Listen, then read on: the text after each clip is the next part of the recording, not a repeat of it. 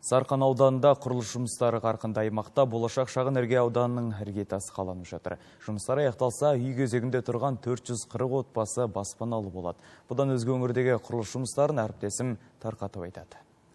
Болашақ шағын ауданында қос қабатты үйдің құрылыс жұмыстары жүріп жатыр. Жыл соңына дейін аяқтау жоспарда. Осылайша үй кезегінде тұрған 20 отбасына табыстамақ. Жаңа шағын аудан 5-5 гектар жерді алып жатыр. Мұнда 440 пәтерлі 2 және 5 қабатты үйлер, 2 блокты модульді қазандық, балалар ойын алаңдары салынады. Сондай-ақ бұрын бос жатқан аумақ абаттандырылады. Нұрлы жер бағдарламасы аясында салынып жатқан үйдің құрылысына 305 миллион теңге бөлінген. Мердігер Golden City жауапкершілігі шектеулі серіктестігі болашақ шам ауданында екі алпыс пәтерлі тұрғын үйдің мемлекеттік сатып алу конкурстары аяқталды. Қазір келісім шартқа отырып тағы да осы болашақ шам ауданында екі бес қабатты алпыс пәтерден әр үй құрылысы басталады.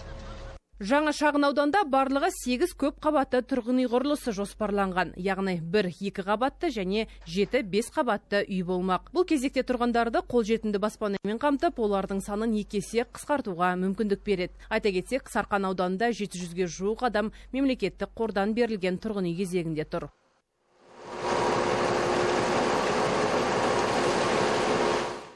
Ауданда әлеуметтік нысандарда бой көтеруде. Политехникалық колледждің 55 орындық жатақханасының күрделі жөндеуі 75 пайызға аяқталған. Бұл жатақхана 1974 жылдан бері күрделі жөндеу көрмеген. Қонақ үй типіндегі студенттер үйінде жеке душ пен санитарлық торап қарастырылған. Сметалық құжаты 220 миллион 30 процент қаражат бөлінді. Июнь айынан бастап жұмыс жасадық. Январға дейін срогымыз бар жетпіс бес процент жұмыс бітіп тұр қазіргі таңда жұмысшылар жеткілікті отыз бес жұмысшы бар Сарқан политехникалық колледжі алты мамандық бойынша оқытады. Негізінен аспаз, электромонтер, дәнекерлеуші, слесарь, тігіншілерді дайындайды. Мұнда оқу және бір реттік тамақтану тегін, ал ниет білдірген студенттер ақылы негізде көлік жүргізу курсынан өте алады.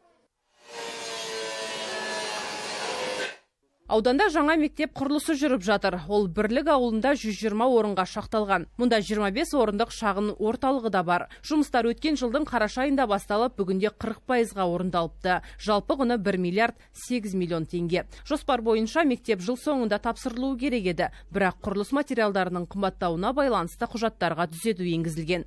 Қазір жоба мемлекеттік сараптамадан өткізілуде. Спорт кабинет қылып алдық енді. Көп қимылдай алмайсың, жүгіре алмайсың. Бірлік ауылының оқушылары қос қабатты бейімделген ғимаратта білім алады. Орын саны шектеулі, сондықтан екі ауысымда оқиды. Аялым Сансызбаева, Абзал Нүсіп, Жетісу арнасы, Сарқан ауданынан. Ауыл аманаты жобасының мобильдік тобы Жетісу облысында. Бүгін олар Өтенай ауылдық округінде болып, тұрғындарға арнайы ақпараттық түсіндіру жұмысын жүргізді. Мұндағы мақсат ауылдық округ тұрғындарын жұмыспен қамтыды ұлғайту және 2025 жылға дейін еңбек табысын арттыру. Сондай-ақ жобада 2,5 пайыздық жеңілдікпен несие кооперативтерге инвестициялық субсидия беру қарастырылған. Кездесу барысында еңбек, қаржылық және басқа да ресурстар бойынша сандық деректер жинақталды. Жиналған ақпарат жобалық кеңседе талданады. Одан кейін тиісті әдістемелік көмек көрсетіледі. Айта кету керек мобильді топ құрамында партия филиалдар, филиалдарының атқарушы хатшылары, аудандық мәслихат депутаттары, бизнес тренерлері бар. Енді 5 күн бойы өңірдегі 19 ауылды 10 аудан мен қаланы аралап кездесулер ұйымдастыру жоспарланған. соның жобаның ең басты негізгі мақсаты халықтың табыстарын арттыру ол қалай арттыруға болады мысалы адамдардың қолына яғни қаржы инструмент беру. Мысалы көбінесе ауыл жерінде білесіз. Мысалы мен кәсіп бастайын деп ұсыныс болса бірақ адамның көбінесе қолында қаражаты жоқ. Соны бағдарламаның ең басты мақсаты шалғай ауылға жету яғни қарапайым халыққа қолына инструмент беру яғни өз кәсібін бастасын.